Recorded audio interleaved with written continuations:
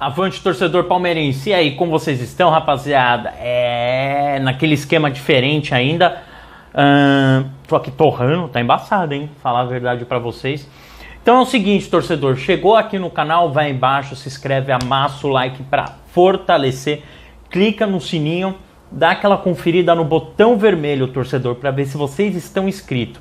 E se não tiver, já clica aí para fortalecer. Fechou? Torcedor, é o seguinte, né? Então, o Arthur, aí que era da base, tá no Bahia, tudo isso, ele tá para retornar ao Palmeiras, só que ele recebeu uma proposta, né?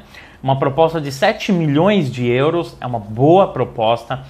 E será que o Palmeiras aceitou? Olha só, hein? Palmeiras já parece que está mudando de, de postura, torcedor.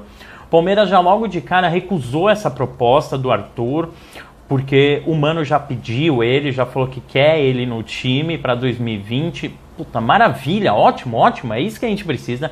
O Arthur, cara, ele é um ponta, um centroavante, ele é um ótimo jogador.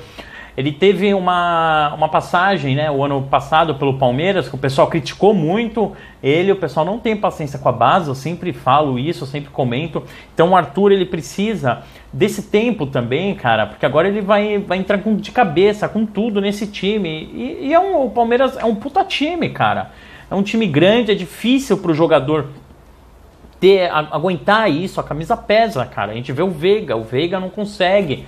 A gente vê diversos jogadores aí que chegam e não funcionam no time quando estão, quando estão no Palmeiras, mas em times me menores eles vão melhores.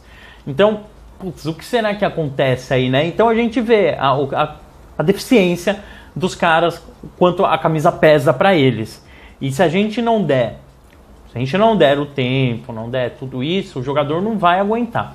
Então, o Mano quer o jogador no Palmeiras. O jogador vai se apresentar em janeiro de 2020, já para a Florida Cup. Então vai ser uma boa aí. A gente já vai ter o Arthur já podendo fazer a pré-temporada com o Verdão, tudo isso certinho. Então vai ser ótimo. A gente vai ter o Arthur, a gente vai ter o Gabriel Veron, a gente vai ter muita opção da base aí, sem ir ao mercado, opções da casa que fortalecem o time, economiza dinheiro. Então, melhor ainda por Palmeiras, né, torcedor?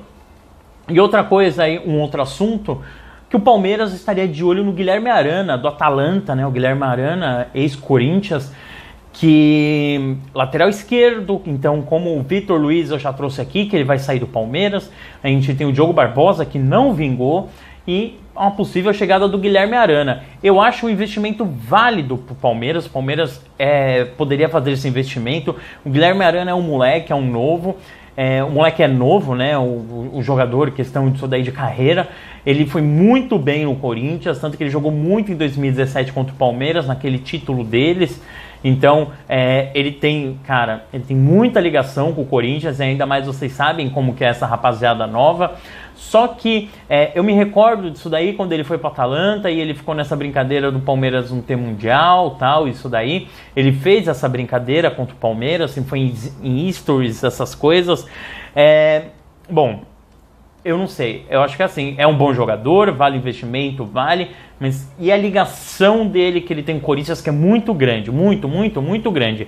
Então eu acho que o Palmeiras tem que é, parar para analisar aí cara, vai atrás de um sul-americano, acha um outro cara e tem que ir atrás desse, desse jogador, ainda mais porque meu, é moleque, fala demais. Então, meu, é bobeira querer é, investir em cima desse moleque, porque vai acabar aí é, causando problema, porque a torcida pode pegar mais no pé, tem tudo isso. Então, imagina como vai ser né? A torcida do Palmeiras do jeito que é, sabendo que tá lá, o moleque que é gambá, já falou um monte de besteira, muito diferente do Mano. Mano Menezes, mesmo treinando o Corinthians, o Cruzeiro, ele nunca falou nada contra o Palmeiras, nunca desmereceu.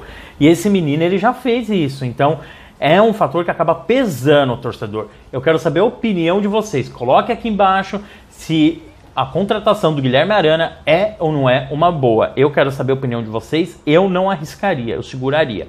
Fechou, torcedor? É o seguinte, chega aqui embaixo, se inscreve, amassa o like, clica no sininho para fortalecer. É um vídeo por dia, sempre trazendo a melhor informação do Palmeiras para vocês, torcedor. Então, vamos nessa, um grande abraço e falhou!